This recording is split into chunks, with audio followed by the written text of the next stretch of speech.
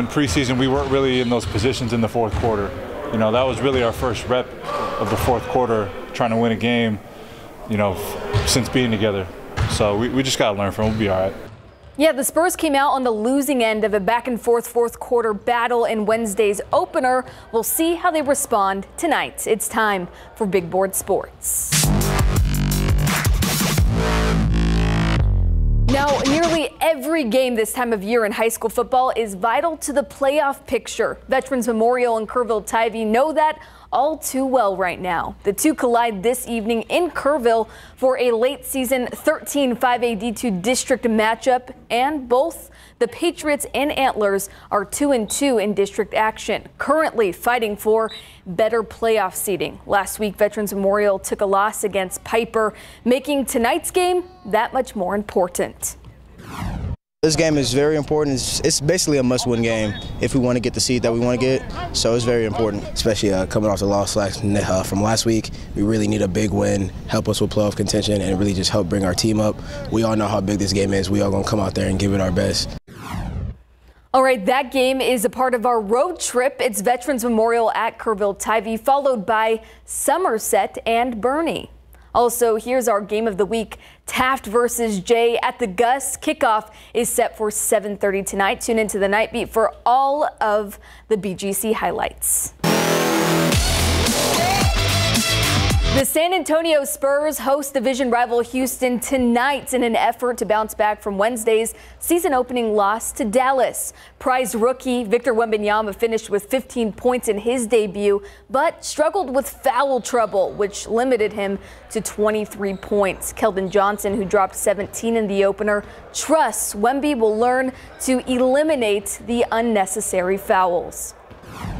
I to say rookie calls. Um, you know, it's just a lot of ticky tack fouls. I feel like, uh, you know, but things that he definitely will learn from. Um, you know, because we definitely need him on the court in order to to to be the best best team we could be uh, going forward. So. Uh, you know, letting some of them go and not, not really reaching, you know, using length and things like that. But, um, I mean, Vic's a smart player. You know, he'll make adjustments and he'll be fine. Tip off between San Antonio and the Rockets is at 7 p.m. inside of Frost Bank Center. Houston is also looking for a bounce back win after getting blasted by Orlando 116 to 86 in their season debut.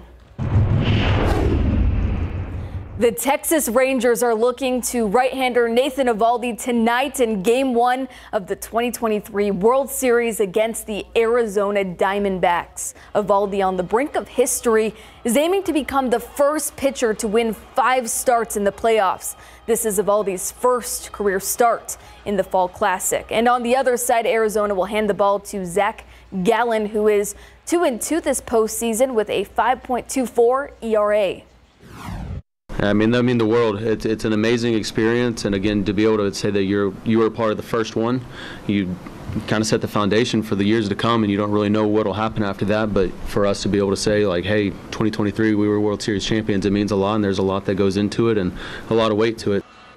Game one of the World Series between the two wild card teams gets underway at 7:03 this evening. Texas, of course, searching for its first ever World Series championship. The Diamondbacks looking for their second.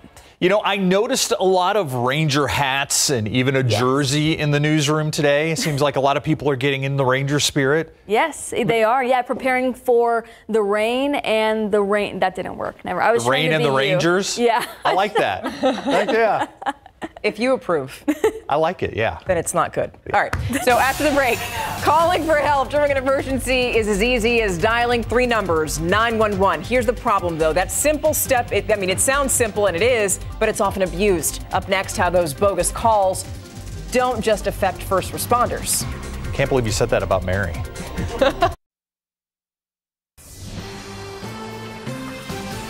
911, as you know, is set aside for emergencies, a way to get an ambulance, police, or firefighters to respond right away. But as Katrina Webber shows us, so many people have been misusing that number that it's causing problems. Help has arrived in the San Antonio neighborhood, but it doesn't seem anyone needs it. Police and firefighters believed 911, what's your based on a 911 call that a man had been stabbed, only there's no sign here of anything wrong. A short time later, they had the same result after a call about a fire. These were two of several we witnessed within a couple of hours this recent morning where there was no emergency. May say there were shots fired. And uh, it, we go out, find out maybe it was somebody had a tire blown out. Belinda Esquivel, a communications manager for SAPD, says she has overseen plenty of calls that send officers scrambling, sometimes unnecessarily. In many cases, it may be an innocent mistake. In others, it is intentional. It might be kids or some young adults who may think it's funny to call in, but it's taking resources from the actual calls. That not only includes manpower, but time and money. SAPD figures show in the first nine months of this year, officers responded to more than 156,000 911 calls that didn't pan out. While the department says it doesn't count up the costs, even if the city spent just $1 on each of these bogus calls, that is still a lot of wasted money. Do you have a mile marker as to where you may be, like a T? As a 911 call taker, Denise Cardenas never knows what she might get. Up to 6,000 calls pour in each day. Sometimes they're life threatening situations, sometimes it's a loose dog in a park. Still, her job is to forward those asking for help to dispatchers who can send it to them. Each call that comes into the center has to be taken seriously. There's no way for the call takers or dispatchers to know what actually is on the other end. Every call as if what they're telling you is true and 100%. The hope is those calls that are not won't stand in the way of help reaching people who really need it. Katrina Webber, KSAT 12 News. The Biden administration planning to convert commercial buildings to residential use. It's the latest effort by the government to ensure affordable housing. As part of the announcement, the Department of Transportation releasing new guidance on $35 billion available for transportation oriented development projects. Secretary Pete Buttigieg saying this will expand residential downtowns that often rely on public transit. The administration says this new guidance will make it easier for state and local governments to repurpose existing properties. The judge in former President Donald Trump's civil fraud case says that Ivanka Trump has to take the stand. The judge says that the daughter is still intertwined with the Trump organization and knows about a specific loan in question. Now, her attorneys can appeal. They say that she shouldn't have to testify since she's no longer a defendant in that case. They also note that she hasn't lived or worked in New York since 2017, but the judge is saying that she needed to file an affidavit in order to make that argument. As the war intensifies between Israel and Hamas, the United States has repeatedly warned Iran and other actors in the region not to get involved in the conflict. But after Iranian backed militants continued to attack American forces in the region, the United States struck back. ABC's Liz Landers is in Washington with what the Department of Defense is now saying.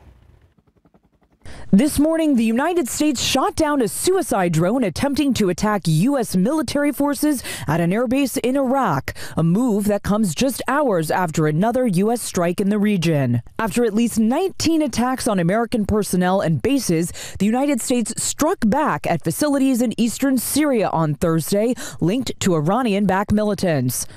The groups are believed to be behind recent rocket and drone strikes that injured American troops in Iraq and Syria. They went right at uh, targets that were tied to the Iranian Revolutionary Guard Corps, the IRGC, that is resourcing, funding, training, and, and making capable all these proxy groups. A military official says the strikes were conducted by two F 16 fighter jets, and there were no civilians at the target areas at the time. ABC News' Martha Raddatz on the U.S. strategy. With two F 16s and hitting two munitions facilities, they went for the limited response. I think number one in their mind right now is they do not want this war to spread. They do not want to provoke the militants any further than they've already provoked because they've been trying to deter them for weeks. Earlier this week, President Biden issued a stark warning to Iran's leader. My warning to the Ayatollah was that if they continue to move against those troops, we will respond. And he should be prepared. This limited U.S. strike comes as Israel and Hamas are engaged in a war that is beginning to see ground troops from the Israeli Defense Forces cross the border into Gaza for targeted raids. In Washington, Liz Landers, ABC News. Hey, coming up next, got any unused medications you need to dispose of? After the break, we're going to explain why and how to properly get rid of any medicines you don't need anymore. Welcome back. So now is the time to check your cabinets and get rid of any prescriptions that you don't need. Tomorrow is National Prescription Drug Take Back Day, so you can anonymously drop off your medications at specific collection sites. Yeah, Mandy Gaither explains why it's so important to properly dispose of medicine you don't need and how you can find a pill drop off location near you. It's a public health crisis. The drug overdose epidemic in the U.S. led to more than 112,000 deaths being reported in a 12 month period ending in May, according to the latest estimates from the CDC. And the numbers keep rising. Narcotics, opiates, obviously, are an obvious problem uh, for people. And unused prescription drugs that are thrown in the trash can be retrieved, abused, or illegally sold. One reason it's critical to properly dispose of them, and that's not all. If there's stuff in your medicine cabinet, your teenage kids or other people can get into it and or other people that are having, you know, maybe a mental health emergency and they decide to take everything in the cabinet, which I've seen a lot of as an emergency physician. Stephen Maher with Mayo Clinic says flushing pills is also common, but it can have devastating environmental effects. That can actually cause problems going through the, you know, sewage treatment plant and and, and can actually get into the groundwater, into the soil. On Saturday, the Drug Enforcement Administration is hosting National Prescription Drug Take Back Day. People can drop off unused or expired medications with no questions asked for free and safe disposal. That includes prescription drugs, over the counter medications, ointments, patches, creams, inhalers, and vials, pet medications, and non aerosol medicine. Type in your zip code and address, and you can find several locations where they're willing to take it back, usually at like police departments or pharmacies. For Health Minute, I'm Mandy Gaither. All right, so if you want to find a place near you to drop off any unused medicine, you can visit 311.sanantonio.gov. The address is right there so that you can learn more. Busy weekend, a lot of stuff going on downtown and in other parts of the city. 78 degrees right now. What's the rain outlook, Adam? Well, we still can't rule out some pop up downpours, I think, through about 10 p.m. I think the odds have dropped off a little bit because we're not seeing a whole lot of redevelopment and I'm seeing a lot of weakening. But an outflow boundary is moving into San Antonio, that alone could help kickstart a few little downpours. So we're not going to let our guard down through 10 o'clock as there still is that potential of some redevelopment. I want to show you the latest drought monitor. It's updated every Thursday. This does not take into account the recent rainfall since Tuesday morning, so keep that in mind. 75% of Texas considered in drought. I'll be back to show you the radar on top of this and how much rain we've seen in the drought stricken areas in a few minutes.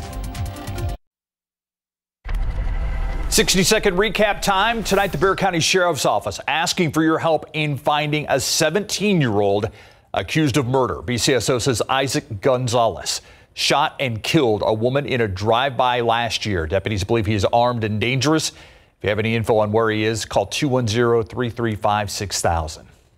Now, four people are in custody after police caught them stealing copper wire from a CPS plant. San Antonio police say the group was loading about $20,000 worth of copper wire into a truck. Officers are still looking into just how they got into that property. The San Antonio police also investigating a crash that killed a 20 year old woman. It happened at I 35 near Somerset. Officers say the woman was thrown from the vehicle. She landed in a grassy median. She died at the scene. Today, the National Weather Services is confirming that an EF0 tornado touched down near East Commerce Street yesterday morning. The estimated peak winds were around 80 miles an hour. A lot of viewers sent in photos and videos of that small tornado. You can check those out right now over on ksat.com. And that is your 60 second recap. You know, Adam, as we look at some of that video, I'm still struck by the fact that we had a lot of our viewers had great footage mm-hmm. of what was a pretty quick storm yesterday. Yeah, we really did. That was a very quick moving storm. And, you know, it was.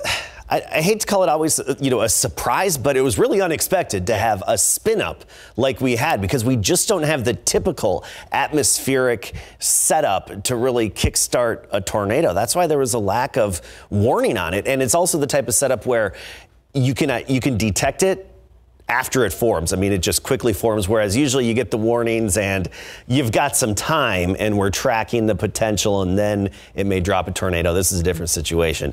I want to talk about it, go back to our drought monitor and notice the extreme and exceptional drought. Not good, but let's go back in time for some rainfall on top of it, and we had some good, ooh, that was really fast. Well, we had some good soaking rain on top of it, that's for sure. And you look at the October rainfall at the airport, over two and a half inches. Ingram, nearly three inches. Vanderpool, nearly four inches. City of Blanco, over two inches. And this is since October 1st. Seguin, four and a half inches of rain. A lot of this coming just in the past couple of days. New Berlin, five inches. Adkins, five point, almost 5.3 inches.